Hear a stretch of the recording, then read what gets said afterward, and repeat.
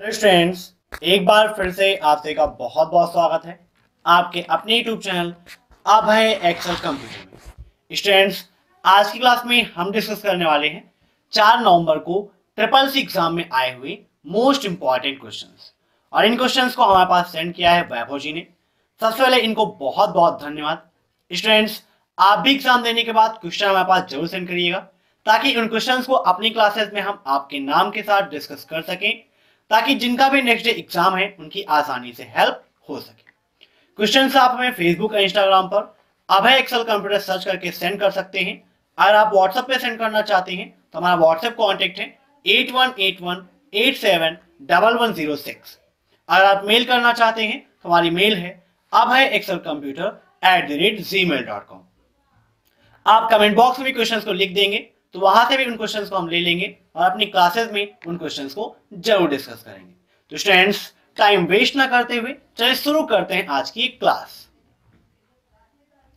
हमारी क्लासेस की टाइमिंग है सुबह सात बजे, दूसरी क्लास है शाम को साढ़े सात बजे और तीसरी क्लास है शाम को नौ बजे। तो जिनका भी ट्रिपल सी का एग्ज़ाम है, वो हमारे इन तीनों क्लासेस को ज़रूर अटेंड करें। अब देखते हैं पहला क्वेश्चन पहला क्वेश्चन है टीसीपी आईपी का मुख्य उपयोग क्या है? टीसीपी आईपी क्या है?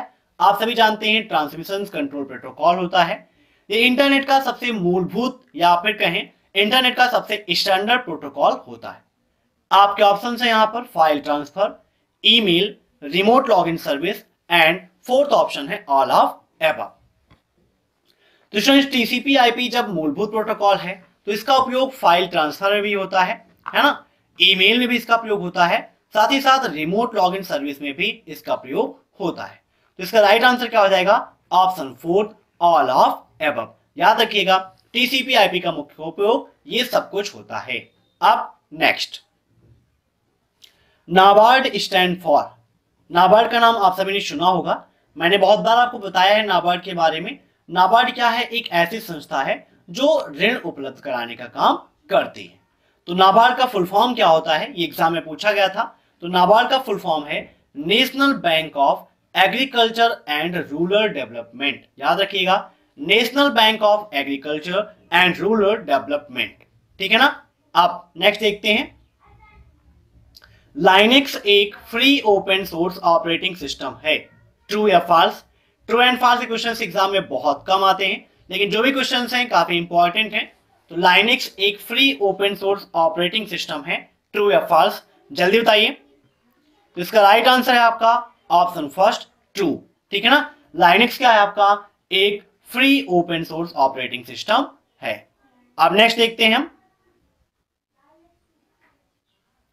पेज को नीचे करने के लिए किस की का प्रयोग करते हैं? Page down page up up या फिर डाउन तो स्टूडेंट्स पेज को नीचे करने के लिए हम पेज डाउन का प्रयोग करते हैं। पेज में ऊपर जाने के लिए हम क्या करते हैं? पेज अप करते हैं ऊपर के लिए और पेज को नीचे करने के लिए पेज डाउन का प्रयोग किया जाता है। अब नेक्स्ट क्वेश्चन क्या हमें अपने पासवर्ड को चेंज करना चाहिए? ट्रू या फिर फॉल्स तो स्टूडेंट्स कोई भी पासवर्ड है, उसे हमें चेंज करते रहना चाहिए, क्योंकि बहुत सारे पासवर्ड्स हैं, बहुत सारे ऐसे वायरसेस होते हैं, जो हमारे पासवर्ड को लोकेट करते रहते हैं, क्या पासवर्ड हम पुट कर रहे हैं। है ना? तो टाइम टू टाइम क्या करना चाहिए? हमें अपने पासवर्ड्स को चेंज करते रहना चाहिए, ताकि किसी को भी हमारे पासवर्ड के बारे में ना पता चले और कोई भी हमारे डाटा को चोरी ना कर सके। तो यहाँ पर ये पूछा है कि ट्रू होगा कि फॉल्स तो ये क्या है आपका? बिल्कुल ट्रू है।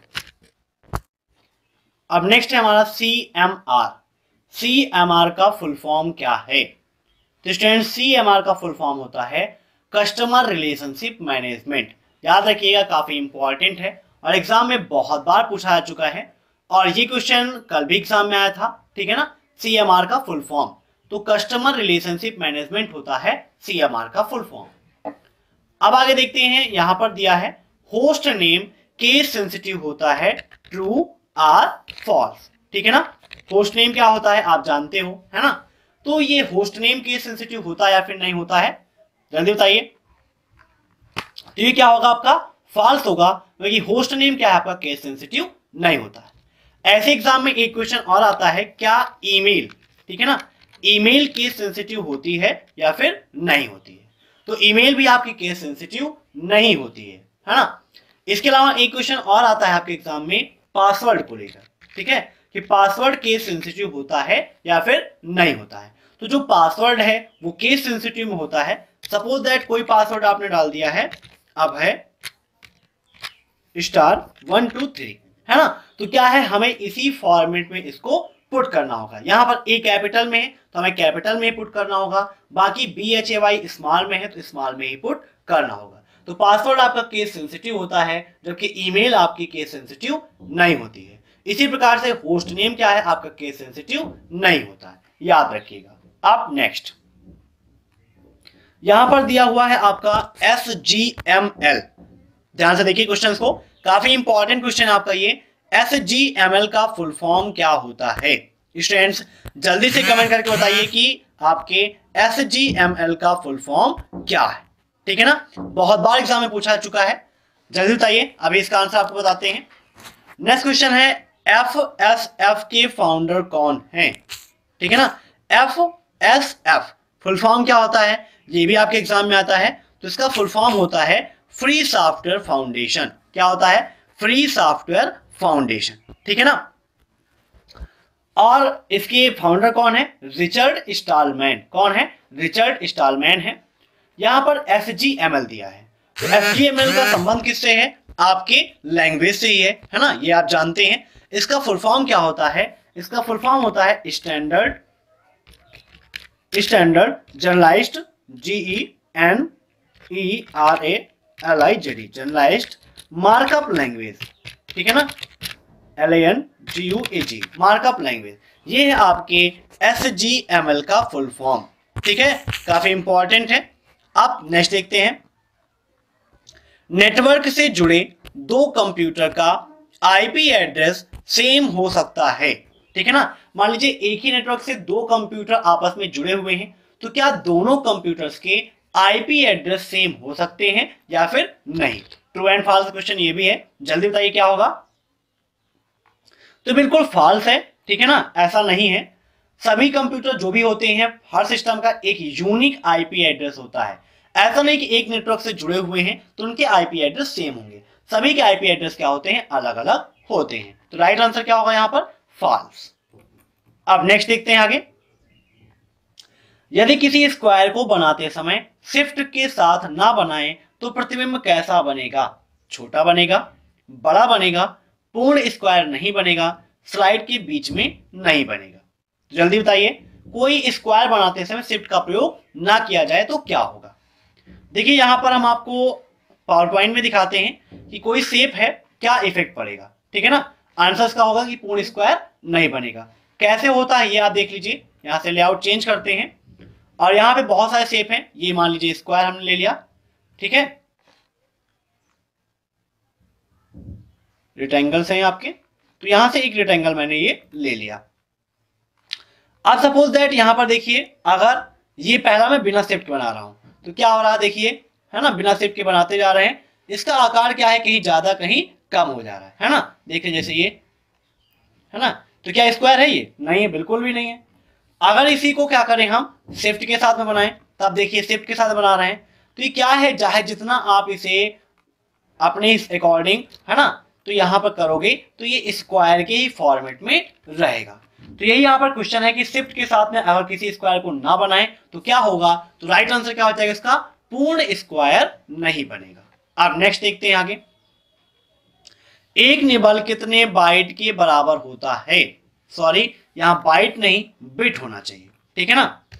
बिट एक निबल कितने बिट के बराबर होता है? आठ बिट चार बाइट चार बिट्स या आठ बाइट तो स्टूडेंट्स का राइट आंसर क्या होगा? इसका राइट आंसर है आपका ऑप्शन थर्ड फोर बिट्स एक निबल चार बिट के बराबर होता है। याद रखिएगा, काफ़ी इंपॉर्टेंट है ये भी। अब नेक्स्ट ईमेल भेजने के लिए किस प्रोटोकॉल का उपयोग किया जाता है? S M T P POP three I M A P या नन ऑफ़ दीज तो स्टूडेंट्स ईमेल भेजने के लिए किसका प्रयोग करते हैं? तो ईमेल भेजने के लिए हम S M T P protocol का उपयोग करते हैं। एस एम टी पी का फुल फॉर्म क्या होता है? तो एस एम टी पी का फुल फॉर्म है सिंपल मेल ट्रांसफ़र प्रोटोकॉल याद रखिए, काफ़ी इंपॉर्टेंट है। सिंपल मेल ट्रांसफ़र प्रोटोकॉल होता है, जिसका उपयोग मेल को भेजने के लिए करते हैं। नेक्स्ट यहाँ पर देखिए दिया है पीओपी थ्री पीओपी थ्री का फुल फॉर्म क्या होता है? पोस्ट ऑफ़िस प्रोटोकॉल है ना? इसका उपयोग क्या होता है? तो मेल रिसीव करने के लिए या मेल डाउनलोड करने के लिए हम पीओपी थ्री प्रोटोकॉल का उपयोग करते हैं। नेक्स्ट है आईएमएपी आईएमपी का फुल फॉर्म क्या है? इंटरनेट मैसेज एक्सेस प्रोटोकॉल ठीक है? इंटरनेट मैसेज एक्सेस प्रोटोकॉल होता है आईएमएपी का फुल फॉर्म मतलब मेल को आने में, जाने में जो एक्सेस टाइमिंग होती है, उन सभी टाइमिंग के लिए इसका प्रयोग किया जाता है। याद रखिएगा, काफ़ी इंपॉर्टेंट क्वेश्चन है। और तीनों पॉइंट्स को आप याद रखिए। एग्ज़ाम में ये भी आ सकता है कि निम्न में से कौन सा ईमेल के प्रोटोकॉल नहीं है, या फिर निम्न में से कौन कौन से ईमेल के प्रोटोकॉल हैं। तो S M T P POP I M A P ये तीनों आपके ईमेल के ही प्रोटोकॉल होते हैं। ठीक है ना? अब नेक्स्ट देखते हैं आगे। जस्टिफाई करने की शॉर्टकट की क्या है? Control plus J control plus shift plus J control plus L and control plus R ठीक है? जस्टिफाई मतलब पैराग्राफ को सेट करना। जैसे यहाँ पर देखिए, हम राइटर ओपन कर लेते हैं और राइटर में हम किसी वर्ड को, किसी पैराग्राफ को जस्टिफाई करके दिखाते हैं। यहाँ पर सपोज़ दैट मैंने लिख लिया है। अब है है ना? तो क्या करना है? ये जैसे ये है अगर कंट्रोल प्लस जे करेंगे तो यहाँ पर ये क्या हो जाता है? जस्टिफाई हो जाता है है ना? कंट्रोल प्लस आर करते हैं तो राइट साइड में हो जाएगा। यहाँ पर जूम परसेंटेज कम कर लेते हैं, ताकि क्लियर आपको दिखाई दे। देखिए ये, है ना? यहाँ हो गया। लेकिन इसी को कंट्रोल प्लस जे करें तो देखिए क्या हो गया? ये जस्टिफाई हो गया। जैसे इसे होना चाहिए, वैसे यहाँ पर ये हो गया। ओके तो जस्टिफाई करने काम कौन करता है? कंट्रोल प्लस जे यहाँ पर शॉर्टकट की भी आपको दिख रही होगी। जस्टिफाई की क्या लिखी हुई है? कंट्रोल प्लस जे है। ऐसे ही राइट लाइन के लिए कंट्रोल प्लस आर है। लेफ़्ट लाइन के लिए सॉरी सेंटर के लिए कंट्रोल प्लस ई है। और यहाँ पर लास्ट में लेफ़्ट लाइन है। इसके लिए कंट्रोल प्लस एल का यूज़ किया जाता है। तो ये आपके लिए इंपॉर्टेंट है। सभी एग्ज़ाम में कुछ भी पूछा सकता है राइट लेफ़्ट सेंटर या फिर जस्टिफाई करने को। अब नेक्स्ट देखते हैं आगे। मैक एड्रेस कितने डिजिट का होता है? पंद्रह डिजिट बारह डिजिट चौदह डिजिट या फिर सोलह डिजिट। तो स्टूडेंट्स का राइट आंसर क्या होगा? राइट आंसर इसका ऑप्शन सेकेंड बारह डिजिट। मैक एड्रेस क्या है? मैन्युफैक्चरिंग एड्रेस होता है तो यह बारह डिजिट का होता है। आपके एग्ज़ाम में इस रिलेटेड एक क्वेश्चन और आता है कि क्या मैक एड्रेस को चेंज किया जा सकता है? तो बिल्कुल फॉल्स है। हम मैक एड्रेस को चेंज नहीं कर सकते हैं, जबकि आईपी एड्रेस को हम चेंज कर सकते हैं। ठीक है ना? लेकिन ये मैन्युफैक्चरिंग एड्रेस है, इसको बदला नहीं जा सकता है। तो स्टूडेंट्स आज की क्लास में इतने ही क्वेश्चन जिनका भी नेक्स्ट एग्ज़ाम है, उन्हें मेरी तरफ़ से बहुत बहुत शुभकामनाएँ। All the best best of luck आप सभी का एग्ज़ाम बहुत अच्छा हो और सभी लोग एस ग्रेड से ट्रिपल सी का एग्ज़ाम टॉप करें। वीडियो पसंद आया हो तो लाइक कर दीजिए। चैनल पर नए मेहमान हैं तो सब्सक्राइब कर दीजिए। साथ ही बगल में जो बेल आइकन है, उसे ज़रूर प्रेस करिए ताकि टाइम टू टाइम आपके पास नोटिफिकेशन आती रहे और आसानी से आप सभी वीडियोस देखते रहे। Thanks for watching my video फिर मिलते हैं नेक्स्ट क्लास में। तब तक के लिए बाय